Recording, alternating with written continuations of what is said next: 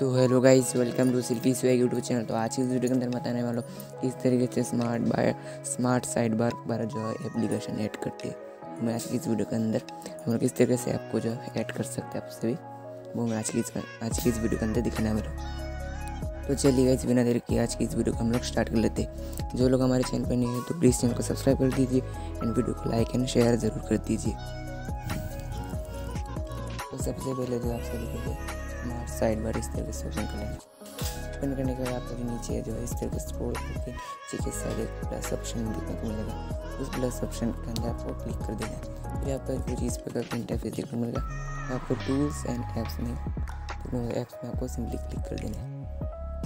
Apps में आप, जो आपका सारे ऐप जो आपको शो करेगा कोई भी ऐप में क्लिक कर देना है। इस तरीके से ऐड हो जाएगा। और एक ऐप पे क्लिक कर देना इस तरीके से, जैसे कि ऐड हो गया। इस जैसे कि ऐप पर ऐड हो मेरा यहाँ पर जो ऐप्स जो है फुल हो चुका है मेरा। आपसे आपसे भी जो है पर बहुत सारे ऐप्स कर सकते हो। कर दें तो गाइस इस तरीके से जो आप सभी स्मार्ट साइड बार के अंदर जो एप्लीकेशन ऐड कर सको मतलब ऐप्स ऐड कर सकते हो। तो यही था आज की इस वीडियो में। मिलते हैं नए वीडियो के साथ। धन्यवाद।